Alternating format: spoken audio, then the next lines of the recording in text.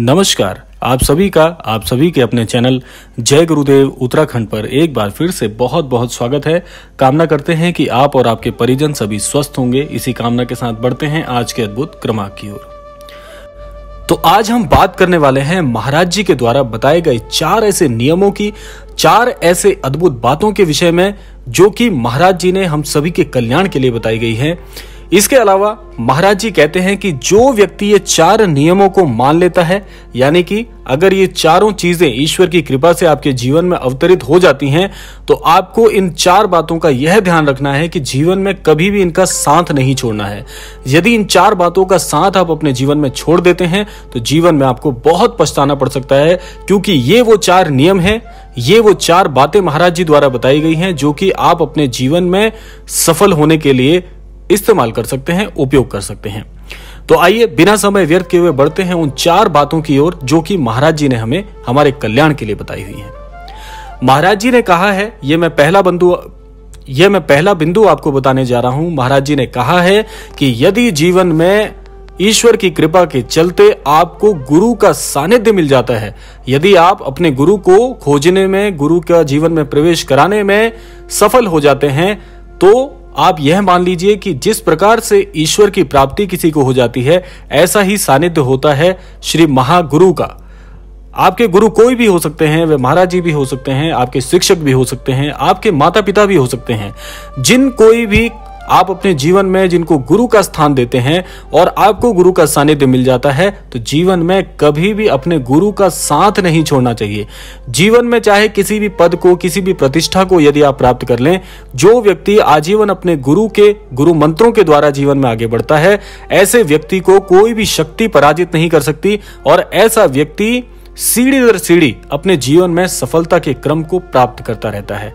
तो इसीलिए जीवन में यदि आप गुरु खोजने में कामयाब हो जाएँ तो उसके फलस्वरूप जीवन में गुरु के सानिध्य का आजीवन आनंद दें, आजीवन गुरु से मार्गदर्शन प्राप्त करें और आजीवन अपने गुरु का सम्मान करें।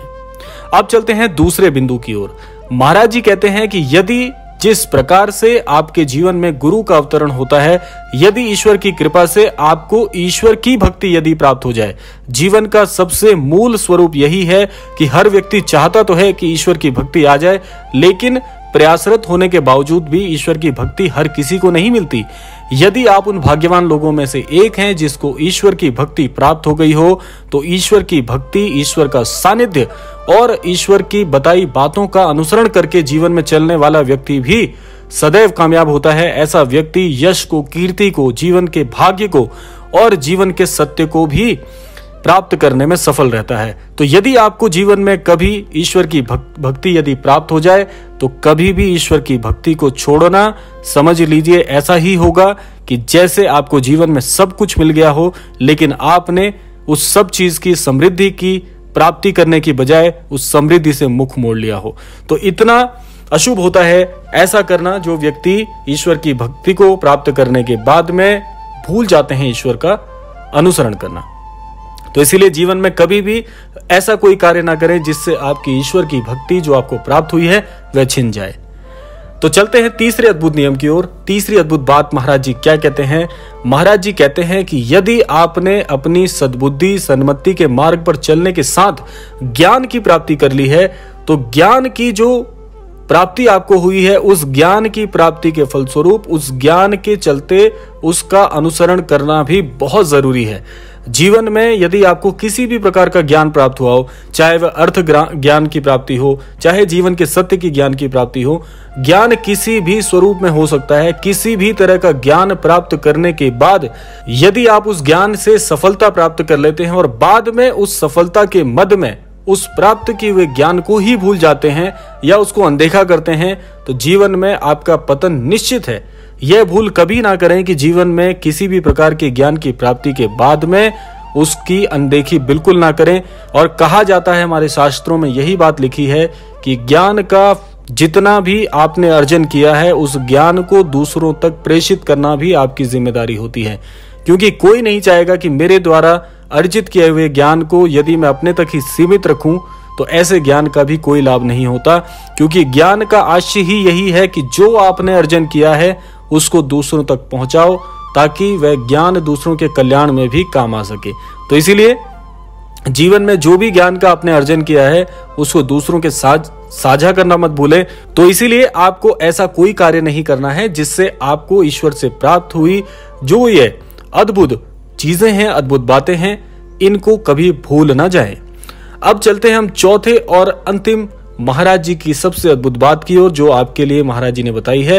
वह यह है कि यदि आपको ईश्वर की कृपा के चलते सेवा का भाव मन में जागृत यदि आपके हो गया है, सेवा का भाव वैसे तो बहुत कम लोगों के मन में जागृत होता है, क्योंकि जो लोग अपने जीवन के अलावा अन्य लोगों के लिए अपने जीवन को समर्पित करते हैं। ऐसे लोगों की संख्या आज के समाज में बहुत कम है या ना बराबर ही है।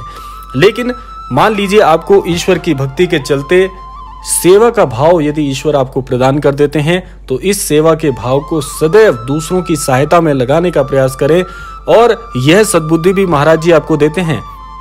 क्योंकि महाराज जी की मुख्य शिक्षाओं का जो स्तंभ है, उसमें से सेवा का भाव भी बहुत बहुत महत्वपूर्ण है। तो इसीलिए यदि आपके मन में दूसरों के प्रति यह इच्छा जागृत होती है कि आपको भी दूसरों का भला करना है, आपको भी दूसरों का भला सोचना है, आप भी समाज के लिए चिंतित हैं तो इस भाव को कभी भी अस्त मत होने दीजिएगा, क्योंकि यह भाव इतना चमत्कारिक होता है, जैसे ईश्वर की अमोघ कृपा है। जिस व्यक्ति के जीवन में एक बार आ गई अमुक भक्त का पूरे जीवन का उद्धार कर देती है। ऐसे ही इस भाव को यूँ ही मत गवाइएगा। जीवन भर आजीवन भर इस सेवा के भाव को यूँ ही सिंचित करते रहिएगा, क्योंकि कई लोग होंगे जो आपके भरोसे बैठे होंगे कि आपके द्वारा अगर उसे सहायता प्राप्त होगी तो उसके जीवन में भी कुछ उजियारा हो पाएगा। तो इसीलिए इन भाव को, इन बातों को कभी भी जीवन में नकारात्मक मत बनाइएगा। इन चारों बातों का यदि आपको जीवन में एक भी बिंदु अपने जीवन में शामिल होता हुआ दिखे तो उसे सिंचित कीजिए। और जीवन भर उसका साथ निभाइए। तो आप पाएँगे कि ईश्वर की जिस भक्ति की आप लालसा रखते हैं, वह भक्ति आपके जीवन में अवतरित भी होगी। निश्चित तौर पर आपके जीवन को भी बहुत बड़ा उदाहरण बनाकर स्थापित करेगी संपूर्ण समाज के लिए। तो आशा करते हैं आज का एक क्रमांक आपको पसंद आया होगा। इसी कामना के साथ विदा लेने का समय भी आ गया है। विदा लेने से पूर्व समय है प्रार्थना का तो आज के इस क्रमांक से मैं यही प्रार्थना करना चाहूँगा कि हमारे सभी अनन्य दर्शकों को महाराज जी सद्बुद्धि, सन्मति प्रदान करें और इस संपूर्ण सृष्टि का कल्याण हो। इसी कामना के साथ विदा लेते हैं। मिलते हैं अगले क्रमांक में। तब तक के लिए जय श्री राम, जय गुरुदेव, जय उत्तराखंड।